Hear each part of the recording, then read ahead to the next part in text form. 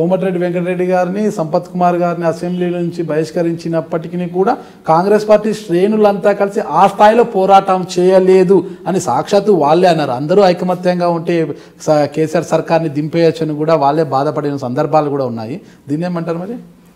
ఇప్పుడు స- సమస్య వచ్చినప్పుడు బాధపడ్డము దాని గురించి అనుభవం ఉన్నటువంటి నాయకత్వాలు వహించినటువంటి మంత్రులుగా పనిచేసినటువంటి వాళ్ళు మరి ఏదైతే చట్టసభల్లో ఇబ్బందులు ఎదుర్కొన్నప్పటికీ కూడా అదైతే సమస్యను ఎదుర్కొనే నైపుణ్యం కానీ వాళ్ళలో ఉన్న సామర్థ్యం కానివ్వండి తప్పకుండా కాంగ్రెస్ పార్టీ ఈరోజు చరిత్రలో ఏ నియోజకవర్గం జిల్లాకు చూసినా కూడా ప్రజలతో మమేకం మమేకమై సుదీర్ఘమైన అనుభవం కలిగినటువంటి నాయకత్వం కాంగ్రెస్ పార్టీలో ఉంది.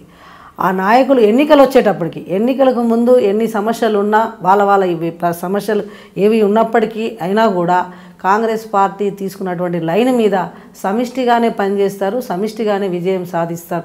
ఆ సమిష్టితోనే విజయం కాంగ్రెస్ పార్టీ సాధిస్తుందనే సంపూర్ణ విశ్వాసం అందరికీ ఉంది. రాహుల్ గాంధీ గారి రెండు రోజుల పర్యటన ఎలా ముగిసి- ముగిసిందంటారు? ప్రజల్లో ఒక అంటే యువతలో కానివ్వండి కాంగ్రెస్ పార్టీ శ్రేణుల్లో కానీ నూతన ఉత్సాహాన్ని నింపిందనేటువంటి విషయాన్ని రాబోయే ఎన్నికల్లో విజయ సంకేతాన్ని ఇచ్చిందని సంపూర్ణంగా విశ్వసిస్తున్నాను మీ ప్రజలు మిగతా నాయకుల పరిస్థితి పక్కన పెడితే శశికళ యాదవ్ రెడ్డి గారిలో ఎలాంటి నూతనోత్సాహం నిండుకుందంటారు? మేము దాదాపుగా నేను ఎయిటీన్ ఇయర్స్ నుంచి ప్రత్యక్ష రాజకీయాల్లో ఉన్నాను.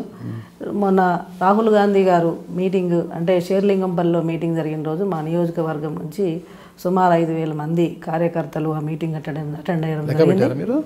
షేర్లింగంపల్లి మా పక్కన అంటే మెదక్ జిల్లా. ఐదు వేల మంది ఐదు వేల తలకాయని లెక్క పెట్టారు మీరు? మా నియోజకవర్గ కార్యకర్తలందరూ పక్క నియోజకవర్గం ఉండడం వల్ల మా కాన్స్టిట్యున్సీ నుంచి అందరూ అంటే కార్యకర్తలు ముఖ్య కార్యకర్తలు అందరూ కూడా మీటింగ్ అటెండ్ అయ్యడం జరిగింది. ఐదు వేల మంది వచ్చారంటే మీరు తల తల తల తల? మాకంటూ క్యాలిక్యులేషన్ ఉంటుంది కదా. ఒక గ్రామ స్థాయి నుంచి ఎంతమంది నాయకత్వం మా పార్టీ క్యాడర్ ఉంటుంది. పార్టీ క్యాడర్ అటెండ్ అయ్యారనే విషయాన్ని అక్కడ కాకుండా అలాగే సరూర్ నగర్ సభకు కూడా మీరందరూ తెలిసిన విషయమే. సుమారుగా లక్ష యాభై వేల వరకు. సాయంత్రం ఆరవుతున్నా కూడా ఇంకా జనాలు వస్తూ పోతూ ఫ్లోటింగ్తో మరి మీటింగ్ సక్సెస్ అయ్యింది. మాకు అదొక ఇన్స్పిరేషన్ ఒక స్పిరిట్గా ముందుకెళ్ళడానికి ఉత్సాహాన్ని ఇచ్చింది. ఓకే అది కాంగ్రెస్ పార్టీ సార్ ఒంటరి పోరుకు సిద్ధమవుతుందా? లేకపోతే పొత్తులు ఉన్న అర్రులు అధిష్టాన నిర్ణయం ఏ మేరకున్నా సిద్ధంగా టీడీపీతో పొత్తు అంటున్నారా? ఏది జరిగినా కాంగ్రెస్ పార్టీ అధిష్టానం నిర్ణయం మేరకే అందరూ కలిసి పనిచేస్తారు టీడీపీతో పొత్తుకు మీరు సుముఖంగా ఉంటారా? అంటే మీ వ్యక్తిగతంగా? నా వ్యక్తిగతంగా ఇప్పుడు ఈరోజు ఏ ఇంటి నుంచి ఎక్కడికి వచ్చినా ఈరోజు కాంగ్రెస్ పార్టీ తీసుకునే పొత్తుల నిర్ణయం కానీ ఏది కానీ అధిష్టానం నిర్ణయం మేరకే ఉంటుంది. ఏ రకంగా నిర్ణయం తీసుకున్నా కూడా దాన్ని ఆనందంగా ప్రజల్లోకి వెళ్ళాల్సిందే అంటే పొత్తుల్లో భాగంగా మీ సీటు గల్లంతైతే అలాంటి పరిస్థితులు ఏ రకంగా వచ్చినా కూడా పార్టీ నిర్ణయం మేరకు ఉంటుంది. మీ సీటు గల్లంతైనా బాధలేదా? గల్లంత అయ్యేటువంటి పరిస్థితులు ఉండే అనేది విషయం మాకు సంపూర్ణ విషయం. కారణం ఏంటంటే ఈరోజు టీడీపీ నుంచి గత పది నూట పంతొమ్మిది సీట్లలో కూడా పార్టీ నిర్ణయం అన్ని ఆలోచించి గెలిచే సీట్ల వరకు క్యాడర్ని చూసుకొని అధిష్టానం కాంగ్రెస్ పార్టీ నిర్ణయం తీసుకుంటుంది. ఇరవై ఐదు అసెంబ్లీ మూడు ఎంపీ స్థానాలు అడుగుతూ ఇస్తామని మీరు అంటున్నారు? ఇప్పుడు నేను అనట్లేదు. ఏది ఇస్తారు ఏది అడుగుతారని అధిష్టానం చూసుకుంటారు అది నాకు తెలియదు.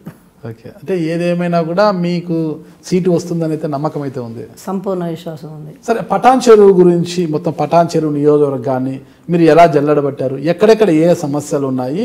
ఖచ్చితంగా నేను గెలవడానికి ప్రధాన కారణాలు ఇవి. పటాన్ చెరువులో నా బలం ఇది. నేను ఖచ్చితంగా గెలుస్తానని మీరు చెప్పడానికి గల కారణాలు ఏంటి? అసలు ఏ సమస్యలు మీరు పరిశీలించారు చెప్పండి. ఈరోజు పటాన్చెరు నియోజకవర్గంలో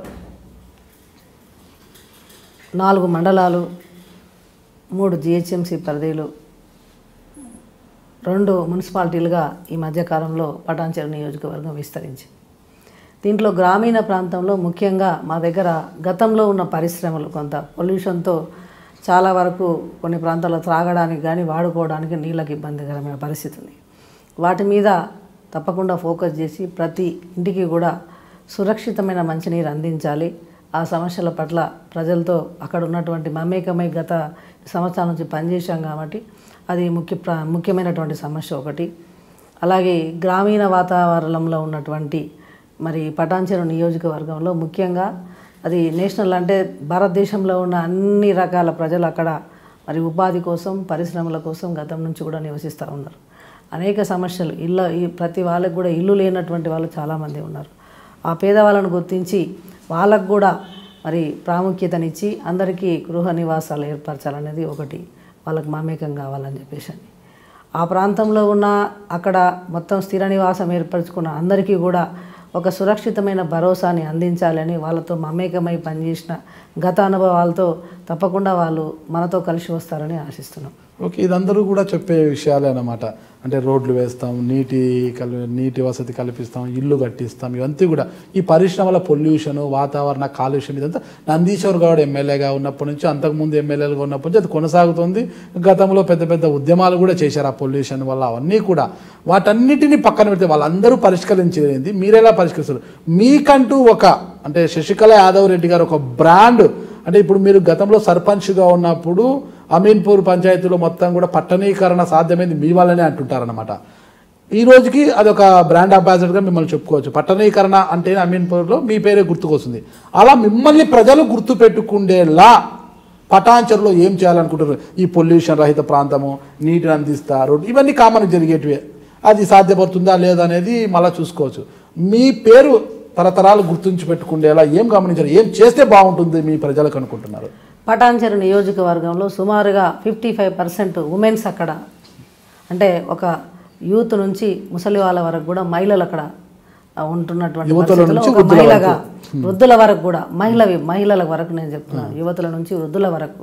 వాళ్ళకు ఒకటి ఏంటంటే విద్యా అవకాశాలు యువతులకి తప్పకుండా సంపూర్ణంగా అందరికీ వాళ్ళకి అందుబాటులో ఉన్నటువంటి విద్యా అవకాశాలని అందించి వాళ్ళను కూడా సమాజంలో ఒక సమాన స్థాయికి తీసుకురావాలనేటువంటి ఒక మహిళగా నా కాన్సెప్ట్ ఉంది.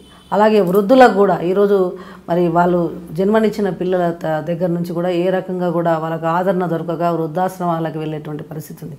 వాళ్ళకు మేనున్నానని ఒక భరోసాను కల్పిస్తూ వాళ్ళ యొక్క తల్లిదండ్రులు నీ గౌరవించి గౌరవంగా చూసేలాగా గౌరవంగా బతికేలాగా వృద్ధులకు కూడా నేను ఒక కూతురులాగా వాళ్ళకు అండగా ఉంటూ వాళ్ళ ఆత్మగౌరవాన్ని నిలుపుకుంటూ ఒక వినూత్నమైనటువంటి వాళ్ళకి ఒక షెడ్డు కానివ్వండి ఒక భరోసానిచ్చేటువంటి కాన్సెప్ట్ను కానీ తీసుకెళ్ళాలి. వాళ్ళకు ఒక కుటుంబ వాతావరణం కల్పించాలి వృద్ధులకి. ఎక్కడ అనాథలైనటువంటి మహిళలకి వృద్ధులకి వాళ్ళకు ఒక ఆదరణ తీసుకురావాలన్నటువంటి కాన్సెప్ట్ ఉంది. అలాగే యువకులకి యువతులకి ఉద్యోగ అవకాశాలు. ఆ నియోజకవర్గంలో ఉన్నటువంటి చదువుకున్న మేధావులు హైదరాబాదుకు చాలా సమీపంలో ఉంది.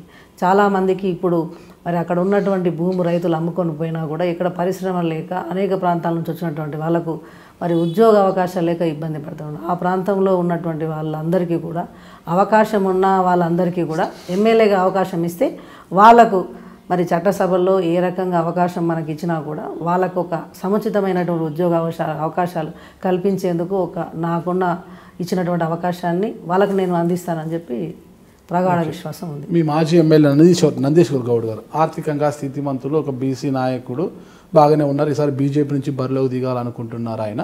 మరొక మీ ఎమ్మెల్యే మహిపాల్ రెడ్డి గారు కదా. మహిపాల్ రెడ్డి గారు సిట్టింగ్ ఎమ్మెల్యే. అంటే వీళ్ళకున్న మైనస్లు ఏంటి? మీకున్న ప్లస్ ఏంటి ఆడ గెలవడానికి? మైపాల్ రెడ్డి గారు ఎన్నికలకు ముందు టీఆర్ఎస్ పార్టీలో ఏదైతే చెప్పినారో ఇప్పుడు ప్రజలకి వాళ్ళకి వాళ్ళకే అంతర్గతంగా ఒక విభేదాలు అనేటివి ఉన్నాయి. అవి ఏ పార్టీలైనా ఉన్నప్పటికీ కూడా తను ఈ నాలుగున్నర సంవత్సరాల్లో పనిచేసినటువంటి తీరు కానివ్వండి అభివృద్ధి చేసినటువంటి పరిస్థితుల్లో అనేక రకాలుగా గ్రామీణ ప్రాంతంలో ఉన్న ప్రజలు మరి టీఆర్ఎస్ పార్టీ మీద వ్యక్తిగతంగా విరక్తి చెంది ఉన్నారు. వాళ్ళందరూ కూడా గతంలో నేను చేసినటువంటి అంటే జిల్లా పార్టీ అధ్యక్షురాలుగా ప్రజలతో మమేకమైపోయి ఎక్కడ కూడా ఎవరితో కలిసిపోయేటువంటి తత్వంతో అందరూ మమేకమైపోయి మనం పనిచేసేటువంటి విధానంతో నాకు ఈసారి అవకాశం ఇస్తారు అన్నటువంటి నా ప్లస్ పాయింట్గా నేను భావిస్తున్నాను. అలాగే కాంగ్రెస్ పార్టీ కూడా టీఆర్ఎస్ పార్టీ వైఫల్యాలు. ప్రముఖంగా మా ప్రాంతంలో ఉన్న ఉద్యోగస్తులు అంటే యువకులందరూ కూడా విద్య చదువుకున్న వాళ్ళకు ఉద్యోగాలు లేకుండా వాళ్ళందరూ కూడా టీఆర్ఎస్ పార్టీ వైఫల్యాల కోసం కాంగ్రెస్ పార్టీ సరైందన్నటువంటి విషయంలో కూడా మనకి ప్లస్ పాయింట్ అని చెప్పి తెలియజేస్తారు మరి మహిపాల్ రెడ్డి గారు వైఫల్యం చెందినప్పుడు మరోవైపు నందీశ్వర్ గౌడ్ వైపు చూడొచ్చు కదా ప్రజలు. ఆయన వైపు ఎందుకు చూడాలనుకుంటున్నారు? వ్యక్తిగతంగా వెళ్ళాలనుకుంటే కొన్ని ఇబ్బందులు ఉంటాయి. నందీశ్వర్ గౌడ్ గారు కాంగ్రెస్ పార్టీ నుంచి గతంలో ఎమ్మెల్యేగా పోటీ చేశారు. ఎన్నికలకు ముందు మొన్న టూ థౌజండ్ ఫోర్టీన్కి వచ్చేటప్పటికి ఎన్నికలకు ముందు టీఆర్ఎస్ పార్టీలో వెళ్తామని చెప్పి స్క్రోలింగ్ రావడం జరిగింది.